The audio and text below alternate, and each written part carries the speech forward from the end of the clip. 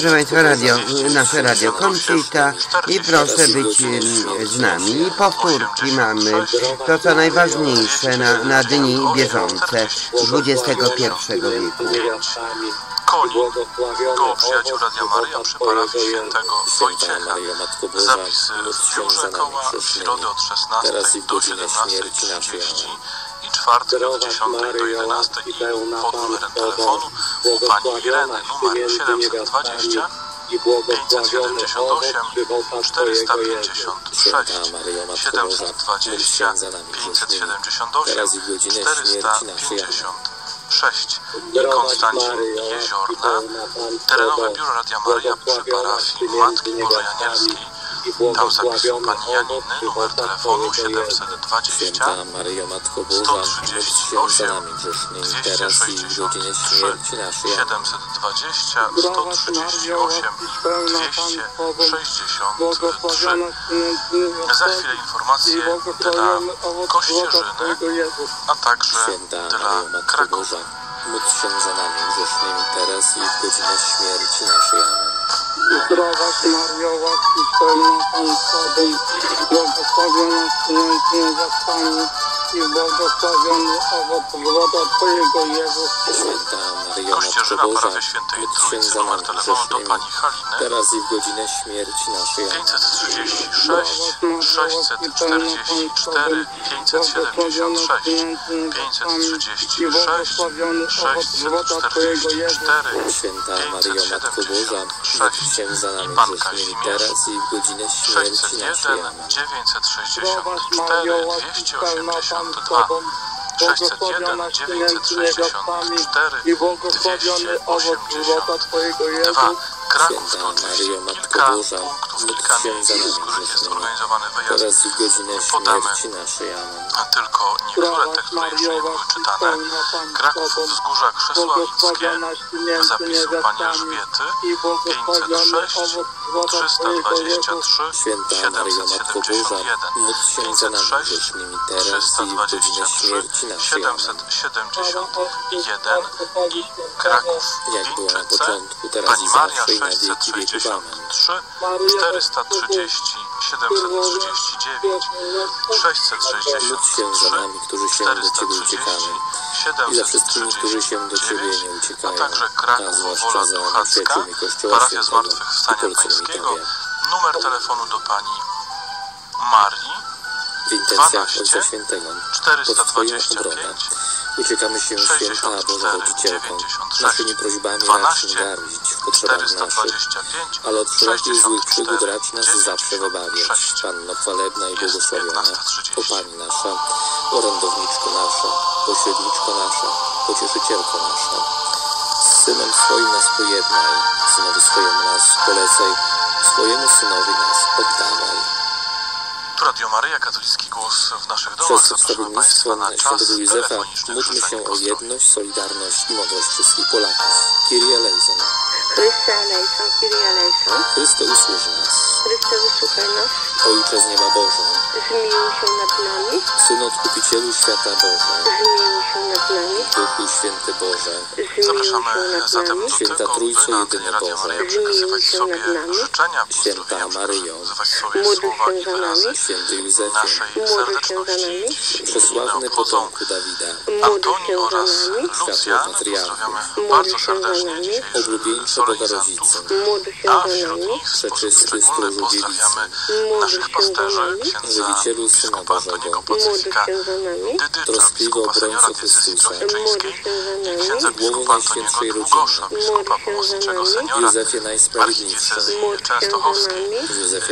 Bardzo serdecznie nami. Oczywiście dziękujemy za każde słowo pouczenia, każde pasterskie słowo troski, a także za taką życzliwość i módl się za przyjaźń. nami, zwierciadło Bójmy się tego słowa. cierpliwości, Do Radia Maryja zarówno ze strony księdza biskupa Antoniego Dydycza, jak Antoniego nami, ozdobo długo życia rodzinnego, Przypominamy sobie te piękne homilie nami. podczas pielgrzymek rodziny Radia Maria podczas uroczystości rocznicowych czy ostatnią homilię, choć głos troszeczkę odmawiał posłuszeństwa księdza biskupa Antoniego Długosza na pielgrzymce dziecięcej. Bardzo dziękujemy, oczywiście życzymy wszystkiego, co najlepsze przede wszystkim błogosławieństwa e, Bożego Baranku Boży, który gładzisz grzechy świata. ze strony Przepuść nam, tych, którzy na Baranku co dzień Boży, który spotykają gładzisz księży biskupów. świata.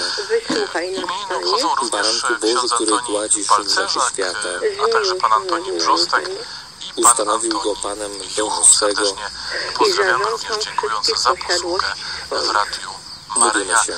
i na samym początku Boże, Ty w niewysłowionej opatrzności wybrałeś świętego Józefa na oblubieńca Najświętszej Rodzicielki dzisiejszych Twojego Syna. Sprawa, byśmy oddając Mu na ziemi cześć jako opiekunowie, zasłużyli na Jego orędownictwo w niebie. Przez Chrystusa Pana naszego, w imię Ojca i Syna i Ducha Świętego. modliła się Danuta, współczyna zdroju. Bóg zapłać. Bóg zapłać Pani Danuto, Bóg zapłać całej rodzinie Radia Maryja za wspólną modlitwę.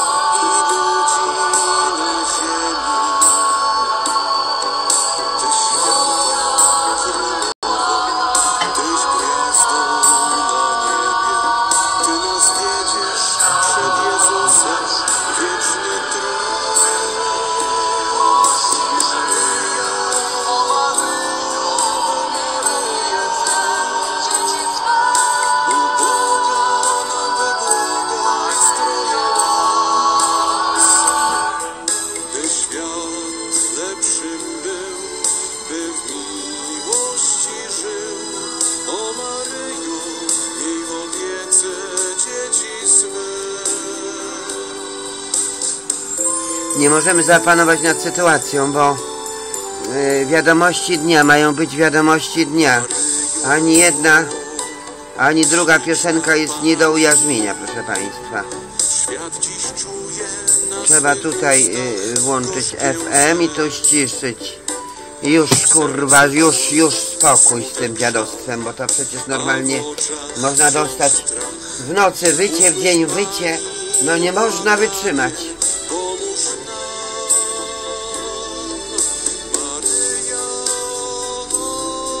Także proszę Państwa, zaraz będzie program y, Obudź się Polsko ma aktualności dnia. Y, proszę być y, z nami.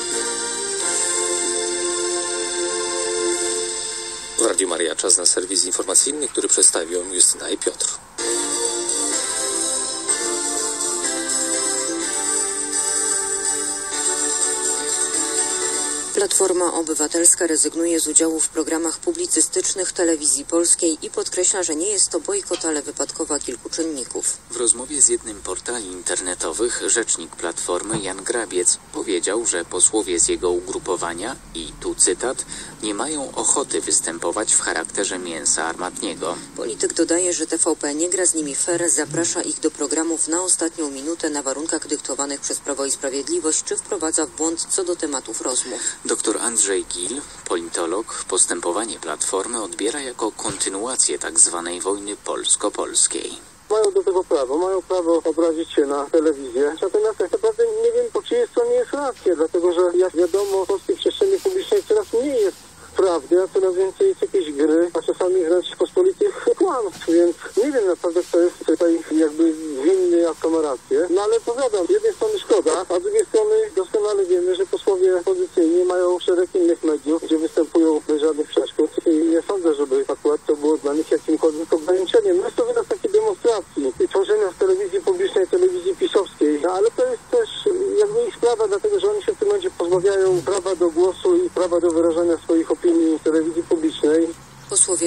Obywatelskiej już wcześniej rozważali rezygnację z wystąpień w programach TVP. Ostatecznie nie zdecydowali się jednak na ten krok. Teraz sprawa znów powróciła, a politycy PO nie pojawili się już na przykład w niedzielnym i piątkowym gościu wiadomości. Polacy chętniej zaciągają zobowiązania na cele mieszkaniowe. Narodowy Bank Polski opublikował informacje o cenach mieszkań i sytuacji na rynku nieruchomości w pierwszym kwartale tego roku. Wartość nowo udzielonych kredytów mieszkaniowych w złotych wzrosła w tym okresie o 10,2%, licząc kwartał do kwartału. W porównaniu z analogicznym okresem ubiegłego roku zanotowano wzrost o 12,3%. Istotnie więcej kredytów wypłacono w ramach programu Mieszkanie dla Młodych, który zostanie wygaszony. Poseł Gabriela Masłowska, doktor nauk ekonomicznych, dostrzega jeszcze inne czynniki, które spowodowały wzrost akcji kredytowej. Wzrost y, akcji kredytowej y, na cele mieszkaniowe świadczy z jednej strony o ciągłym deficycie mieszkań w Polsce, gdzie zajmujemy niechlubne miejsce, jeśli chodzi o przeliczenie na, na przykład na tysiąc mieszkańców. Nadal występuje deficyt. Z drugiej strony, z drugiej strony mamy do czynienia y, z poprawą sytuacji materialnej pewnych grup społecznych, e, które, które lepiej oceniając e, swoją e, przyszłość, decydują się na zaciąganie e, kredytów. W ocenie polityk popyt na mieszkanie jest spowodowany także sytuacją na zachodzie Europy oraz w państwach skandynawskich. Obywatele tych państw ze względu na zagrożenie między innymi ze strony migrantów decydują się na nabycie lokalu w Polsce. Polski operator Gaz System zbuduje na dnie Bałtyku odcinek gazociągu Baltic Pipe, poinformował pełnomocnik rządu do spraw strategicznej infrastruktury energetycznej Piotr Naimski. W ubiegłym tygodniu premierzy Polski i Danii podpisali w Kopenhadze memorandum w sprawie gazociągu Baltic Pipe. Zadeklarowali poparcie dla tego projektu oraz wolę współpracy, która powinna doprowadzić do jego pełnej realizacji w 2022 roku. Budowa połączenia zacznie się prawdopodobnie w 2019 roku. Inwestorami w projekcie są Energinet i Gaz System. Latem możemy poznać warianty przebiegu podmorskiego fragmentu gazociągu. Obecnie są one analizowane, powiedział minister Piotr Naimski. Polska spółka będzie budowała część tej magistrali pod Bałtykiem i oczywiście rozbudowywać będzie system przesyłowy w Polsce. Duński Energinet będzie rozbudowywał system gazociągów w Danii i łączył Danię z gazociągami na Morzu Północnym. Cała ta inwestycja będzie ukończona do 2022 roku i wtedy pierwszy gaz popłynie z Norwegii do Polski. Trasa tego gazociągu, y, ona w tej chwili, jeżeli chodzi o część podmorską, y, jest analizowana, jest ustalana, są różne warianty. To jest przygotowanie też do badania oddziaływania na środowisko. Trwa także procedura Open Season dla projektu Baltic Pipe. Operatorzy zaprosili zainteresowane podmioty do sygnalizowania zapotrzebowania na przepustowość w gazociągu. Połączy on Polskę, Danię i Norwegię. Cała dwukierunkowa magistrala ma połączyć złoża węglowodorów na szelfie norweskim Morza Północnego z polskim wybrzeżem w Niechorzu. Będzie składała się z pięciu elementów i ma kosztować około miliarda 700 milionów euro. Planowana przepustowość rurociągu to 10 miliardów metrów sześciennych gazu rocznie.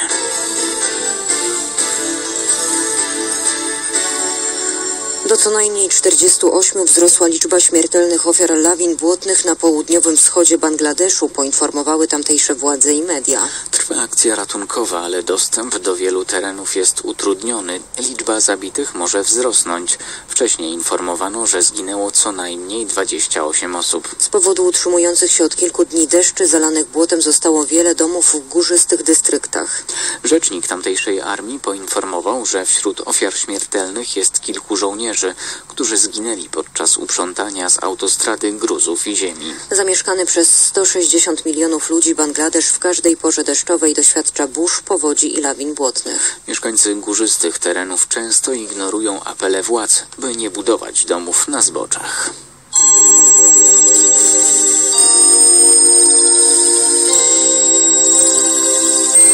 Na południu kraju zachmurzenie umiarkowane, na pozostałym obszarze duże, na krańcach północnych oraz na północnym wschodzie okresami deszcz.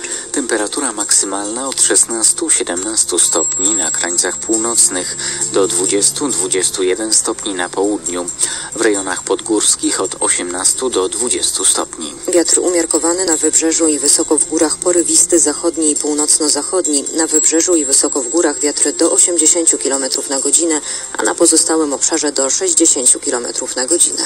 Na barometrach w Warszawie 998 hektopaskali. Były to wiadomości w Radiu Maryja.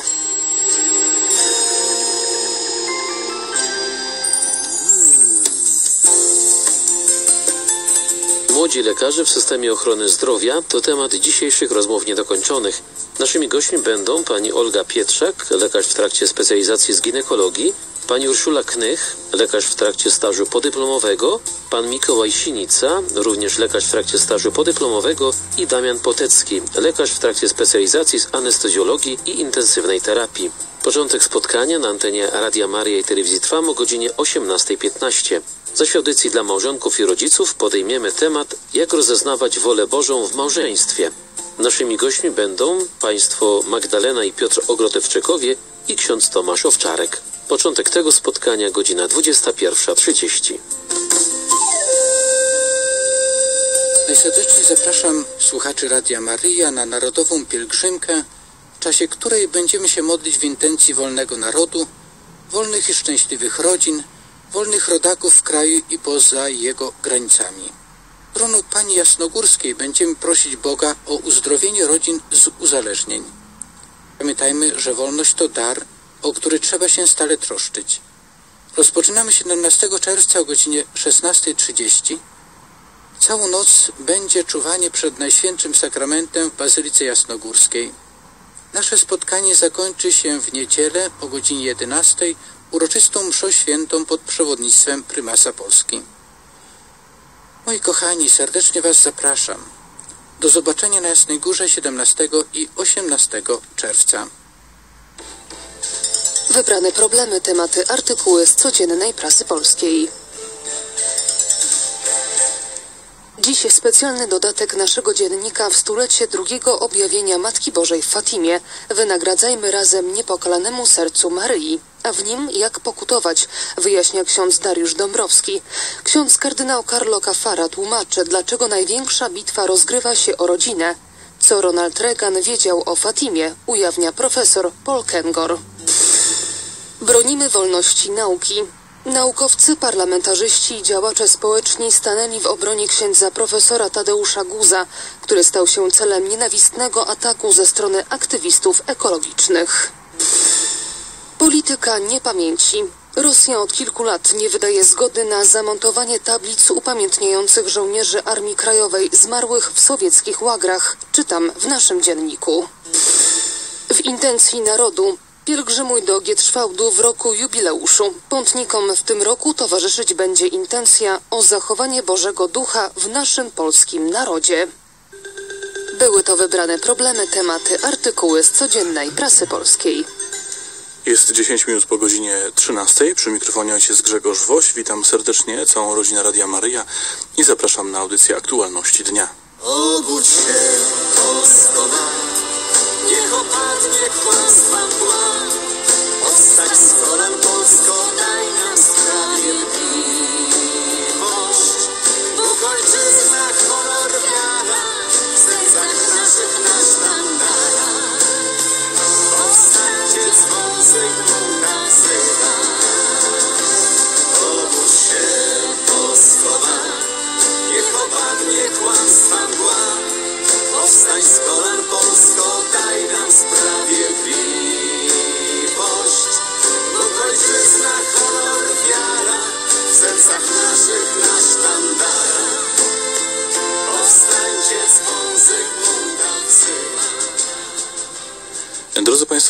Kontekście ostatnich e, nasilonych ataków na Radio Maryja ukazał się w naszym dzienniku wywiad z e, dyrektorem e, Radia Maryja, ojcem doktorem Tadeuszem Ryzykiem. Zapraszamy teraz do wysłuchania tego wywiadu, a później o komentarz w tej sprawie, o taką analizę tych ataków, tego wszystkiego, co ma miejsce, jeżeli chodzi o Radio Marię, szczególnie e, w tym negatywnym e, rozumieniu. Poproszę e, pana profesora Piotra Jaroszyńskiego. Posłuchajmy wywiadu z naszego dziennika.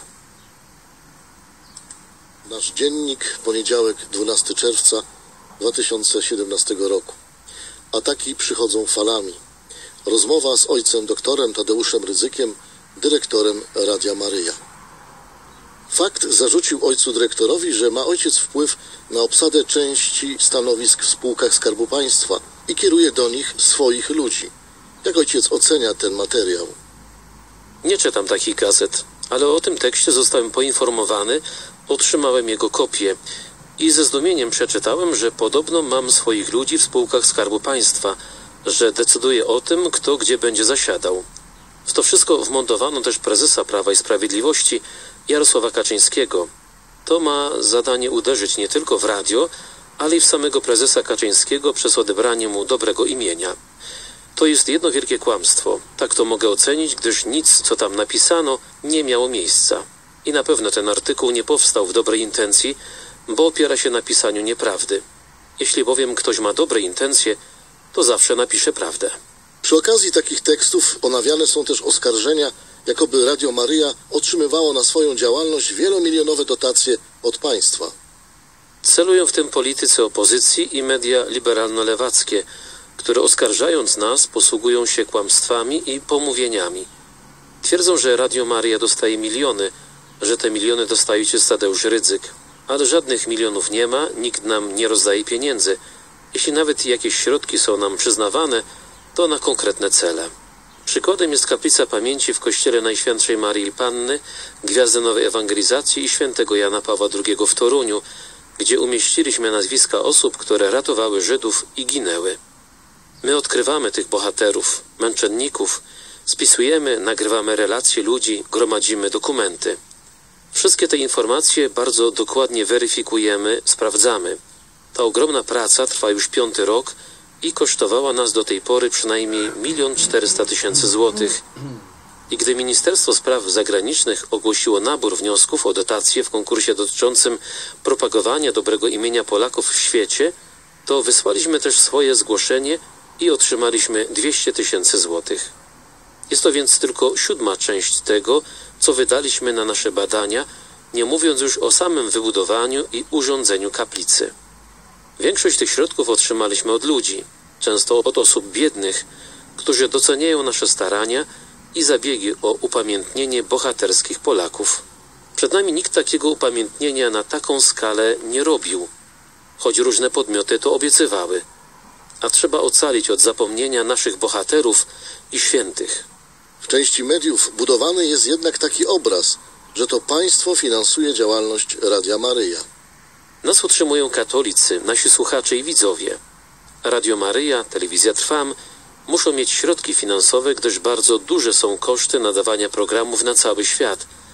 Potrzebujemy do tego ogromnej ilości aparatury, sprzętu, za które trzeba zapłacić.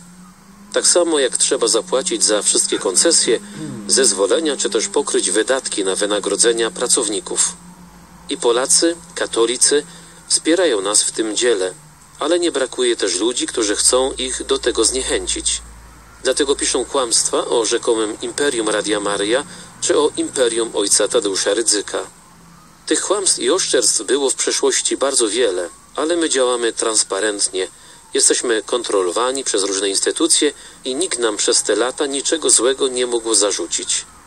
Za czasów rządów Lewicy czy Platformy Obywatelskiej byliśmy wręcz nękani tymi kontrolami. Starano się znaleźć przeciw nam cokolwiek, ale my uczciwie pracujemy i te uporczywe kontrole nic rządzącym wtedy nie dały. Nie znaleźli pretekstu, aby w nas uderzyć z tej strony. Chcemy jak najlepiej służyć Panu Bogu, Kościołowi, Ojczyźnie i narodowi polskiemu. I to wiele środowisk denerwuje. Oni są gotowi nawet organizować media, które mają być konkurencją dla Radia Maryja, tylko że ich celem nie jest wspieranie Kościoła, tak jak robi to Radio Maryja, ale niszczenie religii katolickiej. Taki scenariusz walki z Radiem Maryja powtarza się co jakiś czas. Rzeczywiście, panie redaktorze, ataki na Radio Maryja, także na mnie, odbywają się falami, ale w bardzo podobny sposób. To jest zawsze manipulowanie, tworzenie fałszywego obrazu rzeczywistości, jaka jest w Radiu Maryja, Telewizji Trwam czy w Wyższej Szkole Kultury Społecznej Medialnej. Gdy dowiaduję się o tych wszystkich oszczerstwach, to sam się siebie pytam, czy to są te działania, o których mnie już dawno ostrzegali bracia kapłani. Pierwszy raz przed laty, gdy dopiero powstawał projekt Radia Maryja, spotkałem się z zakonnikiem Włochem, któryś wtedy mi mówił, co mnie czeka. Powiedział, siły wrogie Kościołowi nie dadzą ci spokoju, będą cię chcieli zniszczyć. Tak mówił o masonerii. Drugie spotkanie miało miejsce w naszej małej kaplicy, z której teraz transmitujemy wieczorną modlitwę różańcową.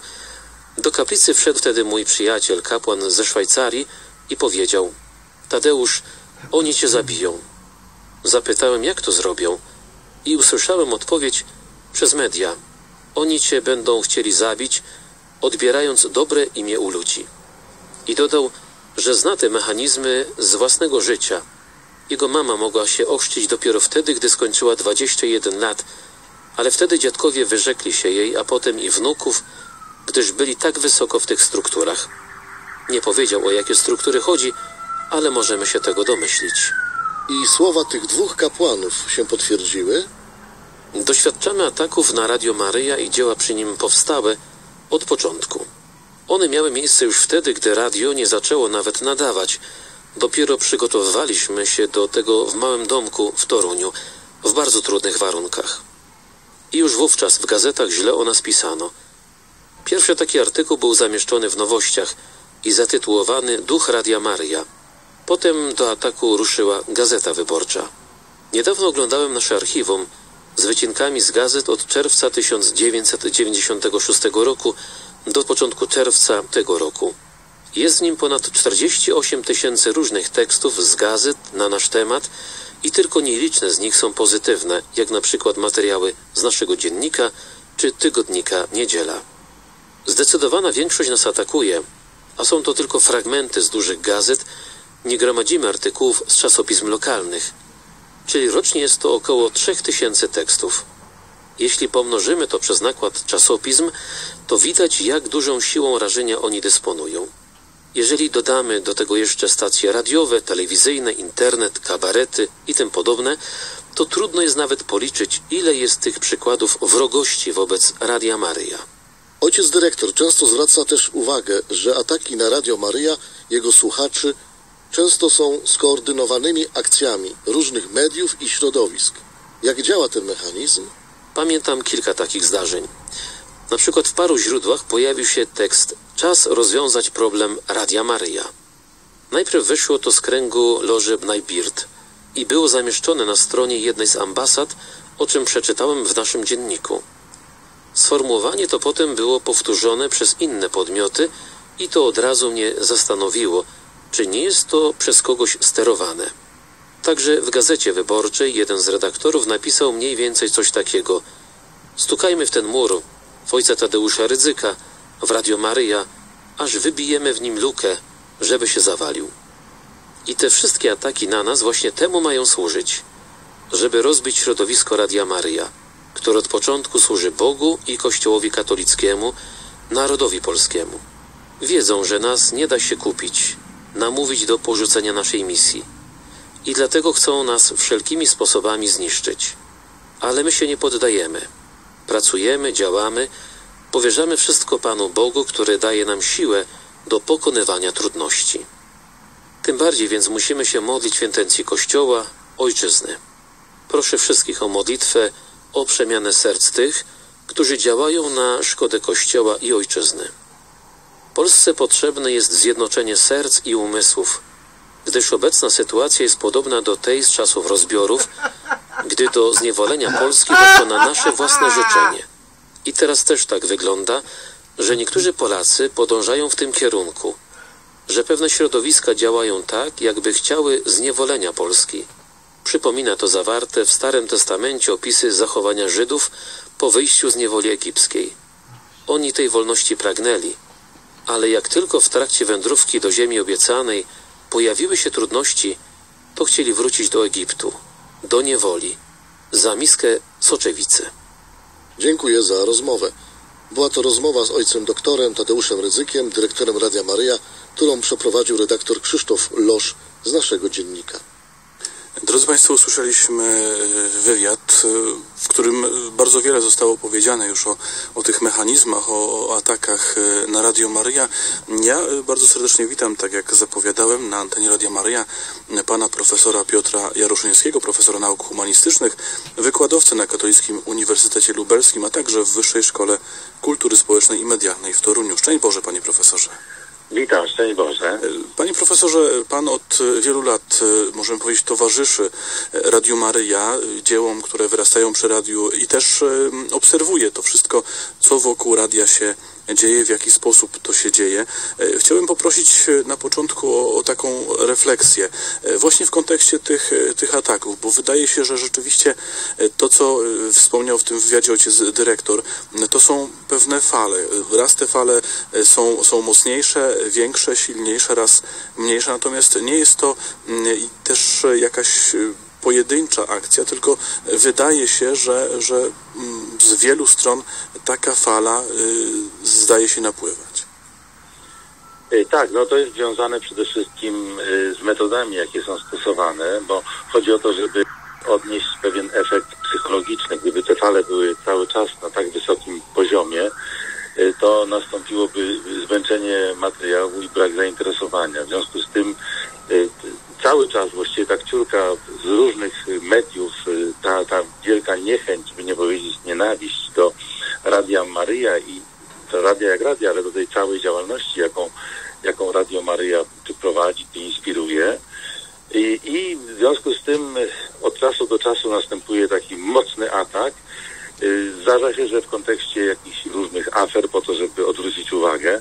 Niemniej jednak widać, że jest to działanie bardzo przemyślane i zdeterminowane. Czyli są to uderzenia, które nie pojawiają się przypadkowo dlatego, że jakiś jeden dziennikarz postanowił zaatakować Radio Maryja czy ojca dyrektora Tadeusza Rydzyka, ale że jest to wynik pewnego przemyślenia z perspektywą na przyszłość, to znaczy co dalej z tego ma wynikać. Dlatego tutaj bardzo ważne jest, żeby jeżeli rzeczywiście idzie taka wielka fala, to trzeba y, bardzo rzeczowo y, ukazać i zarówno mechanizmy, jak i też te wszystkie fałsze, niedomówienia, nieprawdy, jakie w ataku są zawarte, bo cała rzecz polega właśnie na tym, że atak ten skonstruowany jest w oparciu o nieprawdę, o kłamstwa, ale dlaczego? No dlatego, że zakłada się, że wśród ludzi niezorientowanych ten, te, te, te tak zwane fakty, które są po prostu domyślone, że one znajdą wiarę, że ludzie będą w to wierzyć. I równocześnie ci, którzy z różnych powodów czują niechęć do, do Radia Maryja, że dla nich to będzie coś, co im się podoba, że właśnie, żeby taka, taka, taka reakcja, że no to dobrze, to jeszcze przyłożyć. Więc tutaj trzeba pamiętać, że te środowiska dla nich, one należą do innej cywilizacji. Dla nich pojęcie prawdy i sumienia w ogóle nie istnieje. Ich interesuje tylko skuteczność. W związku z tym stosują wszelkie środki, nie mając żadnego poczucia winy, a tym bardziej odpowiedzialności za prawdę czy za dobro wspólne. I dlatego wydaje mi się, że w tym wywiadzie takim bardzo skondensowanym udało się wypunktować, na czym polegają te mechanizmy i co jest nieprawdą. I w tym momencie wszyscy, którzy są myślący, po prostu są myślący, oni zrozumieją i zobaczą, jak to wszystko jest naciągane i jak trzeba się dystansować do takich właśnie ataków, które spłyną ze złej woli i skierowane są przeciwko temu wspaniałemu dziełu, jakim właśnie jest Radio Maryja i te wszystkie inicjatywy, które od tylu przecież lat ludziom dodają jakiejś nadziei do życia, bo gdyby nie te inicjatywy, naprawdę nie wiadomo, co by się z Polską działo. Pan profesor wspomniał o tym, że y, robią to ludzie z innej cywilizacji. To jest, to są, to są bardzo mocne, ale też myślę, że istotne, kluczowe słowa, bo no, kiedyś wydawało się, że prawda jest prawdą i, i, i wszyscy powinni się prawdą kierować, natomiast widać bardzo dokładnie, choćby na przykładzie tych ataków na, na Radio Maryję, czy bezpośrednio na ojca dyrektora, że niektórzy rzeczywiście bardzo konkretnie chcą te ataki budować, formułować na, na i te kłamstwa powielać. Nawet gdy to kłamstwo zostanie już zdemaskowane, zostanie wykazane, że, że, że jest to kłamstwem ewidentnym, że, że sprawa jest być może wyssana z palca, wymyślona, to kłamstwo jest dalej powtarzane, powielane. Tak, bo to, bo to, to są właśnie cechy cywilizacji orientalnych, bo tylko w cywilizacji łacińskiej y, prawda jako prawdomówność, jako szczerość to są wartości moralne. Natomiast w wielu cywilizacjach orientalnych y, nawet jeśli tego typu wartości obowiązują, to tylko wewnątrz danej grupy, czy to będzie grupa narodowa, czy religijna, czy jeszcze inna. Natomiast w przypadku właśnie cywilizacji łacińskiej są to wartości uniwersalne, czyli obowiązują nas w relacjach ze wszystkimi ze wszystkimi ludźmi. I dlatego też tutaj widzimy to, to, ten rozdziew, niezależnie od tego, czy to są Polacy, czy nie Polacy, oni kierują się zasadami nie łacińskimi, czyli tymi, które zostały wypracowane w sposób tak subtelny przez tradycję Kościoła katolickiego. I teraz dlaczego oni to robią? Dlatego, że wiedzą, że właśnie nie wszyscy, nie, bo to nie jest tak, że media drukują jakiś artykuł, czy pokazują coś w telewizji, czy emitują program, to nie jest ciągle ten sam odbiorca, który czyta, zrozumiał i już nie chce dalej sięgać.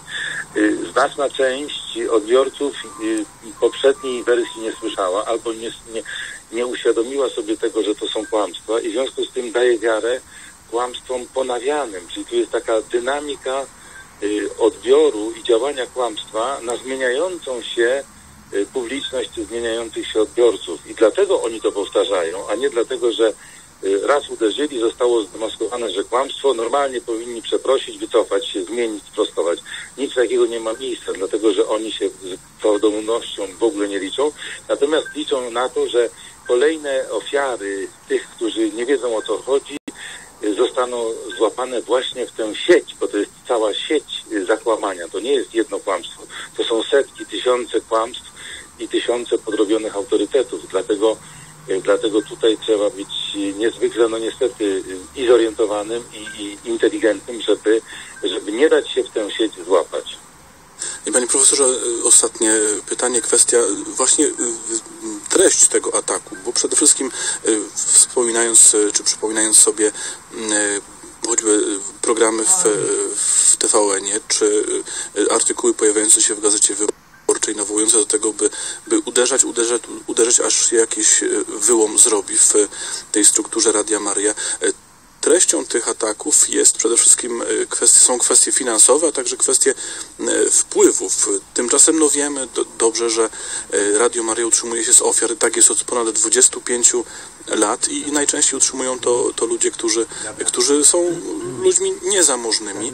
A druga strona tego, tego, tej kwestii, no to y, kwestia czy sprawa y, reklam spółek Skarbu Państwa, dofinansowań milionowych, co, co też nie jest prawdą, co jest y, ewidentnym kłamstwem, bo, bo reklam jest, można nawet zobaczyć, włączając sobie telewizję Trwam, ile tych reklam jest rzeczywiście, skąd one pochodzą. A druga rzecz, no, spółki Skarbu Państwa wspierają no nie tylko Radio Maryja, choć to jest, tak jak powiedziałem, mały procent tego wsparcia, ale też no, inne organizacje, nierzadko też organizacje y, no, przeciwne Kościołowi.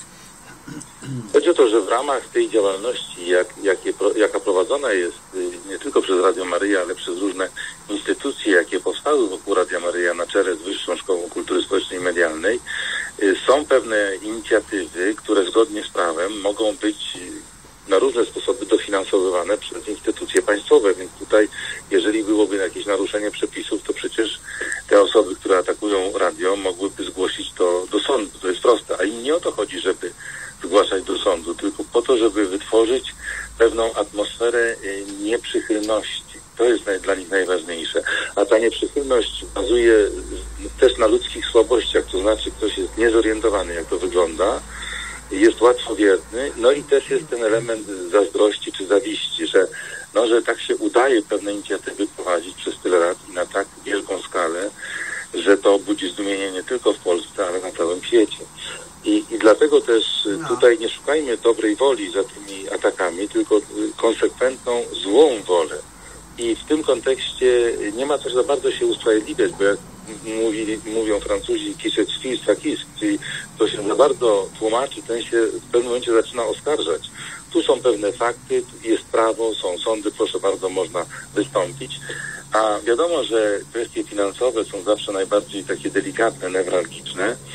Y, I w związku z tym łatwo jest pomówić kogoś, no nie wiem, że kradnie. No, no i, no i co, co z tego ma wynikać? No nic z tego nie wynika, ale już poszło, że kradnie i ktoś pomyśli, no ale może jest w tym jakaś część prawdy. Więc y, to wszystko razem skupia się na pe- właśnie na pewnej strategii wojny psychologicznej y, prowadzonej, i to jest główny cel, właśnie żeby zniszczyć Radio Maryja, uderzając w jakiś punkt wielokrotnie, stosując właśnie tę zasadę, że jak się punktowo uderzy, to w pewnym momencie to pęknie.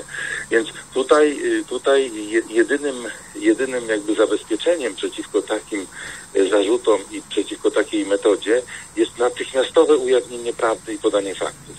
Dlatego, że później y, następuje ze strony tych, którzy próbują zniszczyć Radio Maryja, czy uderzyć tak mocno w ojca dyrektora Tadeusza Redzyka, y, wtedy, wtedy im jest trudniej, ten następuje taki rykoszet, to uderza, uderza w nich jako właśnie tych y, kłamców stulecia, bo, bo oni to robią konsekwentnie. I dla nich y, fakt, że Polska nie została wrzucona w, w, te, te tryby, które prowadzą do y, zniszczenia Kościoła, do umartwienia y, chrześcijaństwa i do zaniku państw narodowych jest po prostu czymś, to, czego oni nie mogą y, absolutnie zaak- zaakceptować i dlatego też atakują, atakują, atakują, tylko że właśnie jest jeszcze, jest jeszcze prawda, która jest y, ponad tym kłamstwem. I ta prawda, którą potrafimy y, pokazać i w swoim działaniu, i w swoich poglądach, nawet jeśli wydaje się, że łatwiej byłoby schować się za jakieś kłamstwo, czy w ogóle nic nie mówić, co będzie w pewnych warunkach też jest kłamstwem, okazuje się, że trzeba śmiało jeszcze mocniej tę prawdę y, pokazać i wtedy następuje cisza. Oczywiście cisza przed ko- kolejną burzą. W związku z tym musimy być nieustannie gotowi na to, żeby, żeby nie poddawać się temu zmasowanemu atakowi ze strony kłamców. Panie profesorze, bardzo dziękuję za tę wypowiedź i pozdrawiam serdecznie. Dziękuję. Szczęść Boże. Szczęść Boże, pan profesor Piotr Jaroszyński był naszym gościem.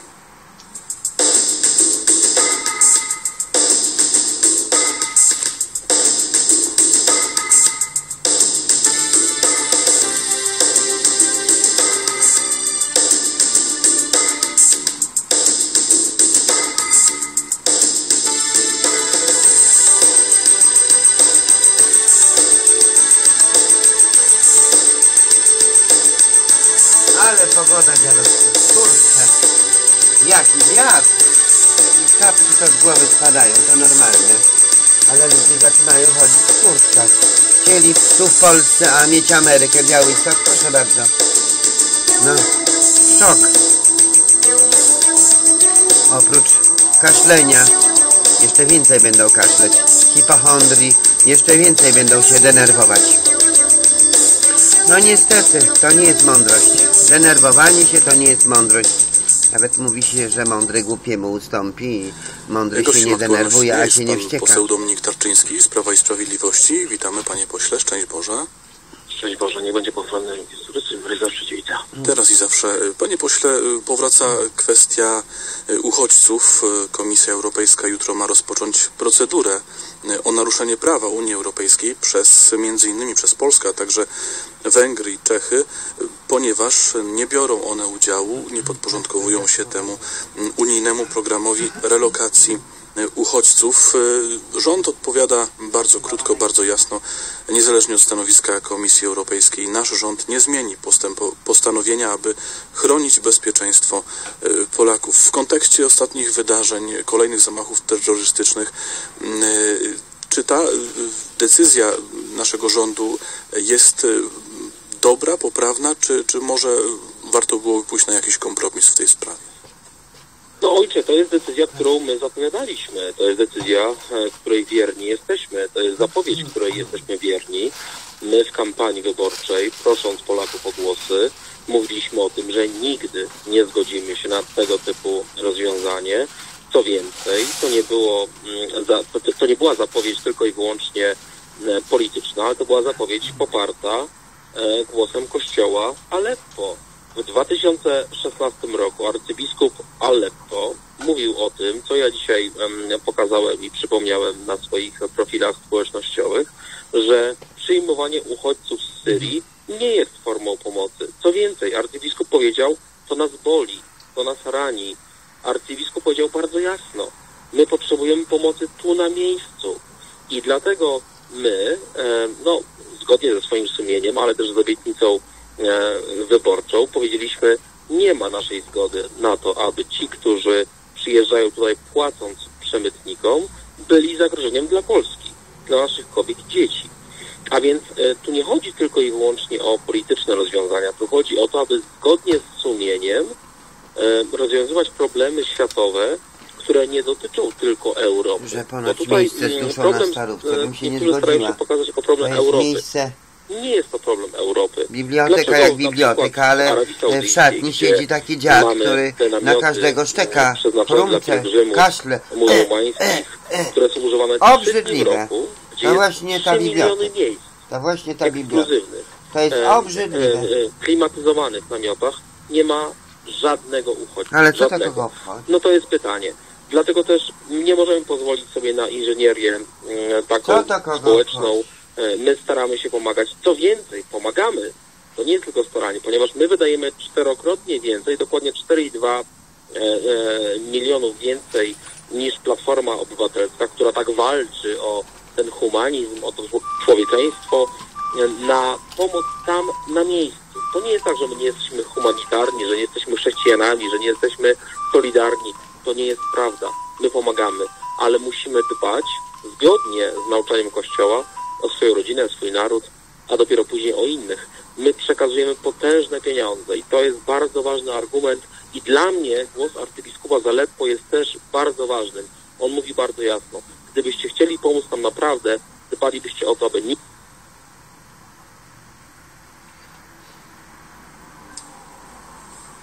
Halo? Radio Tak, Kończycy. Coś się przerwało, panie pośle. Coś się Przepraszam. Także. Panie pośle, co zatem Unia Europejska chce, e, chce pokazać przez ten, no tak trzeba chyba to nazwać szantaż wobec Polski, ale też nie tylko Polski, innych krajów? Wydaje mi się, że chodziło tylko i wyłącznie o tanią siłę roboczą. Tutaj Niemcy bardzo mocno chciały zyskać, ponieważ, no wiadomo, mają nadwyżkę budżetową, nie chcą przekazywać e, 2% PKB na e, środki e, dotyczące NATO. Tutaj prezydent Donald Trump bardzo jasno wykazał, że zamiast te 2% PKB wykazywać na, e, na NATO zgodnie z umową, e, Niemcy, które mają, powtarzam, nadwyżkę budżetową, znaczy mają więcej pieniędzy niż im jest potrzebne na wydatki, wydają na uchodźców z Syrii. Co więcej, przyjmują tych uchodźców, a później wysyłają ich z powrotem do domu, tych, którzy są, no, nieporadni, znaczy nie znają języka, nie są w stanie wykonywać tych prac, na które Niemcy liczyli. Wysyłają ich e, niemieckimi Herkulesami, tymi wojskowymi samolotami z powrotem do Syrii. Więc chodzi tylko i wyłącznie o to, aby mieć, no przepraszam, ale muszę to powiedzieć, kolonię. Aby stworzyć kolonię u siebie, u siebie, kolonistów, którzy będą pracować tą tanią siłę roboczą, mm, ale niestety okazuje się, że ta siła, tania siła robocza jest zagrożeniem, ponieważ jest to absolutne, e, jest to absolutna sprzeczność kulturowa, e, religijna. I no i to jest problem główny. No i teraz Angela Merkel w obawie e, przed, przed przegranymi wyborami wysyła z powrotem tych, których przyjęła. No jest to absolutnie destrukcyjna polityka i nie możemy się na nią zgodzić. Polski rząd mówił w kampanii, nie mówimy, że nie przyjmiemy, obiecujemy, że nie przyjmiemy, obiecaliśmy i nie możemy przyjąć. Panie pośle, czy to nie jest przypadkiem tak, że Unia Europejska i kraje y, wiodące, że tak powiem, w Unii Europejskiej, czyli Niemcy y, i Francja, y, nie chcą się przyznać do błędu w kwestii polityki migracyjnej choćby? nie mogą się przyznać do błędu, bo przegrają wybory, a władza dla nich, tak jak w Polsce dla Platformy i PSL-u jest e, celem nadwyższym, to znaczy dla nich to jest absolutny najwyższy cel. Tu nie chodzi o dobro wspólne, bo kiedy zobaczymy na te ostatnie 8 lat w Polsce, w Europie, oni chcą władzy i dobrze by było się przyznać do błędu, powiedzieć, tak, nie mieliśmy racji, to jest zagrożenie dla cywilizacji. Niestety nie są na to gotowi. I nasz rząd e, no jest wyrzutem sumienia e, w pozytywnym tego słowa znaczeniu. Znaczy my mówiliśmy, tak pani premier, jak i e, premier Jarosław Kaczyński mówił, to jest zagrożenie. Opamiętajcie się. I teraz pani premier po dwóch latach mówi, Europo, wstań z kolan. Niestety nadal pozostają głusi, bo boją się. Boją się tego, że wyzna się im ten błąd, wyznaczy się im ten błąd, pokaże im się ten błąd i będą musieli się przyznać do błędu. My nie chcemy nikogo piętnować, my nie chcemy nikogo potępiać. My musimy dbać o swoje matki, o swoje siostry, o swoje dzieci, o swoje kobiety. E, Panie pośle, jeszcze kwestia e, samej relokacji. W planach było do końca września mm, umieszczenie w tych miejscach, które Unia wyznaczy 160 tysięcy mm, uchodźców. Do tej pory udało się mm, przemieścić, relokować e, tylko 20 tysięcy. Czy to nie jest też tak, że, że Polska, która nie przyjęła ani jednego uchodźcy, nie jest, e, czy nie, nie staje się takim, takim chłopcem do bicia? Bo przecież e, patrząc na, na inne kraje europejskie, e, one też nie wywiązują się z, z tej umowy, która była zawarta. żaden z krajów europejskich nie wywiązał się z tej obietnicy, z tego zapisu. To jest absolutna manipulacja, ponieważ nie tylko Polska, Słowacja, Czechy, Austria, wiele innych krajów nie wywiązało się z tej obietnicy. Co więcej, teraz pojawiają się głosy, które mówią Węgrzy i inni, mówią absolutnie nie przyjmiemy, bo boją się. No oczywiście te, ten lęk jest uzasadniony, te, te zamachy, które są, to już nie jest zamach codziennie, to są zamachy dwa, trzy razy dziennie. To, co my widzimy w mediach, to jest tylko i wyłącznie cząstka. To jest tylko i wyłącznie cząstka. Proszę mi uwierzyć, Azja, Afryka, Ameryka Północna nie przeżywają tylu zamachów, które my przeszłości oglądaliśmy w telewizji jako coś absolutnie przerażającego, co my teraz. My mamy dwa, trzy zamachy dziennie i media nie nadążają em, relacjonować tego wszystkiego. A więc no albo e, podejmiemy działania i powiemy prawdę o tym, albo ulegniemy temu, co, co zdarzyło się w Szwecji, w Norwegii, e, w Danii na przykład, no dzisiejsze doniesienia o zamachach, no absolutny dramat. A więc absolutnie nie ma zgody na to, aby Polskę stygmatyzować. Polska nie jest jedynym krajem e, z, z, z tej wspólnoty, tak, tak europejskiej. Polska jest jednym krajem, który jest liderem w logice. My przyjmujemy logikę i przywracamy trzeźwość tych ludzi, którzy chcą powiedzieć nie, stop temu szaleństwu. Musimy obronić Europę i Polska musi być liderem i będzie liderem. E, Profesor Lech Kaczyński, nasz prezydent, zaczął to. I on powiedział bardzo jasno, musimy widzieć, co niesie przyszłość. Był wizjonerem, był człowiekiem, który absolutnie przewidział to, co teraz będzie się działo. I nie ma naszej zgody. Prawo i Sprawiedliwość nigdy nie zgodzi się na to, aby nielegalni muzułmańscy imigranci przybywali do Polski. I ważne jest, to muszę powtórzyć, ponad czterokrotnie więcej wydajemy święta racja. Są rzeczy jest ważniejsze niż takie, wiecie Państwo, no, e, głupoty, nie głupoty. Myśmy w tym roku, e, proszę Państwa, nie, nie poszłyśmy z tymi tak wariatami przyjmować LGBT, bo po prostu i nie miałyśmy czasu, bo to jest nowoczesnej praca. No i po prostu w tym roku nie, no i co? I są rzeczy ważniejsze. To można się jednak skupić, skoncentrować na rzeczach ważniejszych, a tym wszystkim nich tak wierzą, albo wierzą na pseudo, jednego. pseudo My wierzących. przekazujemy ponad Zapraszamy 45 na modły do kościoła katolickiego rzymskołacińskiego, bo innych ludzi tutaj nie ma. Myślę, że może nie jest czas żyć jakimiś bzdurami. Ja też o dziecku nie wysyłam pieniędzy. Chciał więcej 700 niż zł. Ja mówię dbamy 700 o- zł, to nawet przybyłowicz nie ma miesięcznie. On chciał O na parę dni 700 Przypomnę, zł. No nie można tak. Jak nie może zapłacić za play, nie może zapłacić za rachunki. Na festiwalu No. młodych. To było ukrywane przez ponad półtora roku. Nie pozwolimy, bo historia nas oceni, nie pozwolimy na to, aby takie sceny miały miejsce w Polsce. Panie pośle, jeszcze na koniec, bo tak mi się zrodziło, teraz chętnie za to mm, ci posłowie, czy z Platformy, czy z Nowoczesnej e, wskazują e, parafie, czy wspólnoty mm, katolickie jako miejsca, które, które powinny przyjąć. Przecież mówisz, że są niewierzący. To znaczy co? Jak trzeba robić politykę, to Kościół jest tym, który jest, jest, jest, jest instytucją, którą trzeba wykorzystywać. Ale jak już mówimy o aborcji, o in vitro, o małżeństwach homoseksualnych, o, mm, o adopcji dzieci, przez pary homoseksualne, to wtedy Kościół jest D, a teraz Kościół jest tym, który ma być wykorzystywany. Kochani, nie dajmy się traktować instrumentalnie. To są hipokryci i niestety, przepraszam, ale muszę to powiedzieć, manipulujący nami. Nie możemy zgodzić się na to, aby w taki sposób traktować naszą wiarę, nasze sumienie, bo to jest poniżej godności. Polityka ma swoje granice. Oni te granice przekroczyli. Bardzo dziękuję. Pan poseł Dominik Tarczyński był naszym gościem. Panem Bogiem. Wszystkiego dobrego. Trzeba się Dziękujemy wzajemnie. skoncentrować na rzeczach ważniejszych, a puścić inne rzeczy. Samopas